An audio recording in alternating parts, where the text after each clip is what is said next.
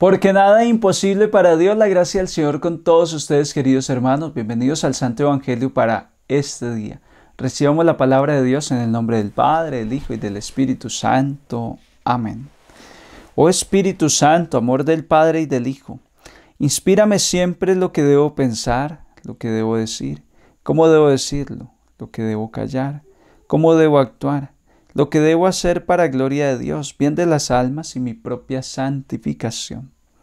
Espíritu Santo, dame agudeza para entender, capacidad para retener, método y facultad para aprender, sutileza para interpretar, gracia y eficacia para hablar. Dame acierto al empezar, dirección al progresar y perfección al acabar. Amén. Espíritu Santo, ilumínanos y santifícanos.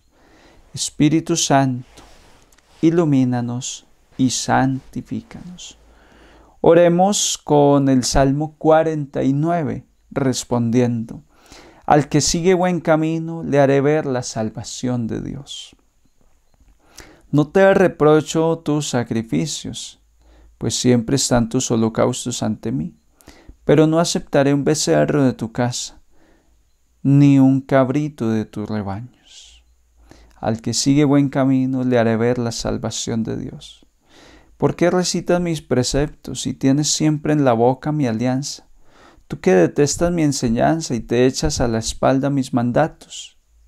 Al que sigue buen camino le haré ver la salvación de Dios.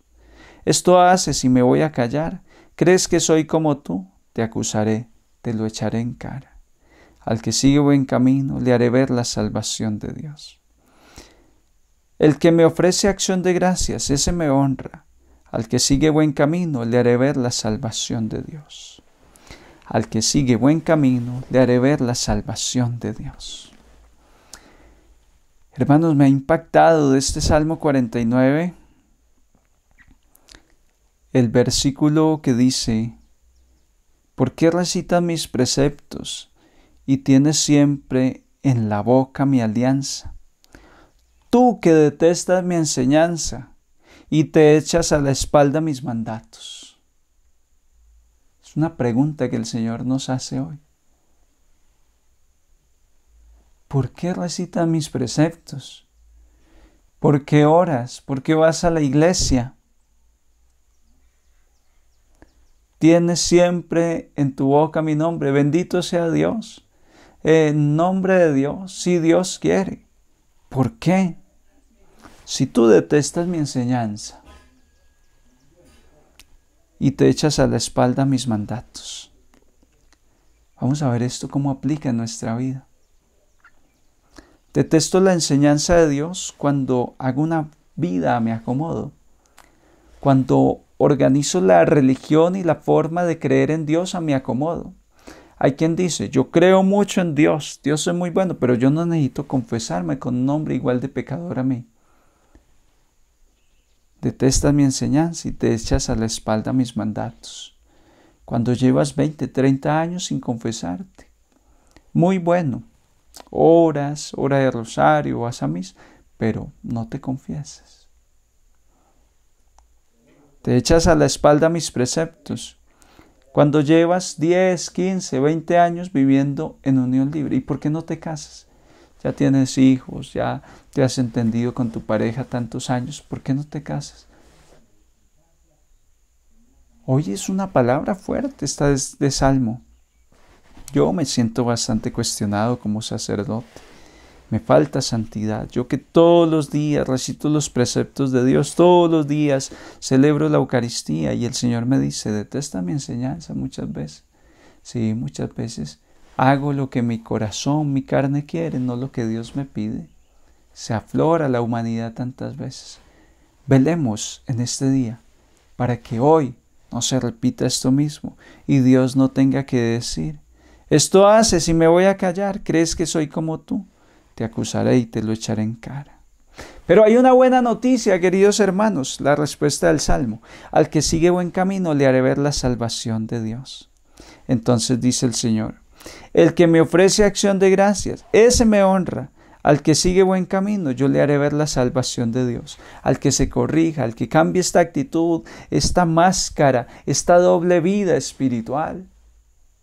El que empiece a vivir en coherencia, le haré ver mi salvación. Señor, quiero ver tu salvación. Quiero que cada persona que sigue este Evangelio diario vea tu salvación. Vamos a compartir el Evangelio de Marcos en el capítulo 2, versículos 18 al 22. En aquel tiempo los discípulos de Juan y los fariseos estaban de ayuno. Vinieron unos y le preguntaron a Jesús, los discípulos de Juan y los discípulos de los fariseos ayunan, ¿por qué los tuyos no? Jesús les contestó, ¿es que pueden ayunar los amigos del novio mientras el novio está con ellos? Mientras tienen al novio con ellos, no pueden ayunar. Llegará un día en que se lleven al novio. Aquel día sí que ayunarán. Nadie le echa un remiendo de paño sin remojar a un manto pasado, porque la pieza tira del manto, lo nuevo lo viejo, y deja un roto peor. Nadie echa vino nuevo en odres viejos, porque revienta los odres y se pierde el vino y los odres. A vino nuevo, odres nuevos. Palabra del Señor. Gloria a ti, Señor Jesús.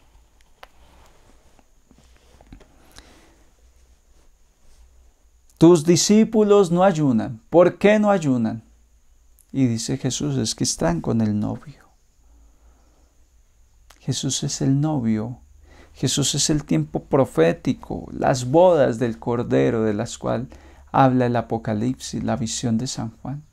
Esas bodas del Cordero han llegado. Finalmente, al final de la historia, ha llegado las bodas del Cordero, con un tiempo nuevo, con un tiempo de gracia, para darnos su amor, para darnos su misericordia, para darnos su grandeza. Hace dos mil años vino el Cordero, el que Juan ha señalado, que quita el pecado del mundo, que quita la iniquidad, la tristeza, el dolor, el desánimo, y nos da vida nueva, vida en abundancia. Él está con nosotros. Él ahora está con nosotros. ¿Por qué triste?